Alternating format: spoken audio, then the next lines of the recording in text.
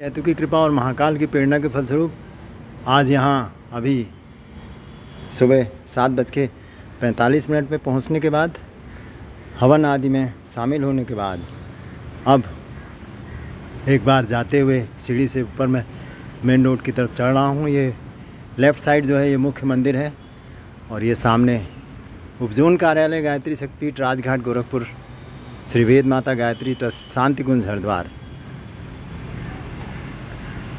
और ये रास्ता ऊपर को जाता हुआ ये यज्ञशाला और ये शिखर के दर्शन हमारे मुख्य मंदिर और ये रास्ता ऊपर को जाता हुआ। इसके बाद हम बाहर जब निकलेंगे तो मेन रोड आ जाएगी। ये अपनी धनो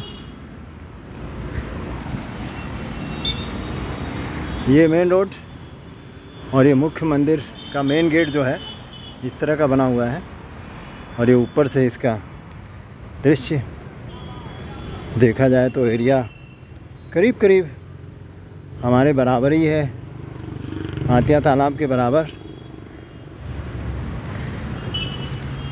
ये मलेसर, कोई जगह है मलेसर की तरफ़ जाता ये रास्ता सोलह सोलह किलोमीटर यहाँ से। जय बाबा, जय गुरुदेव।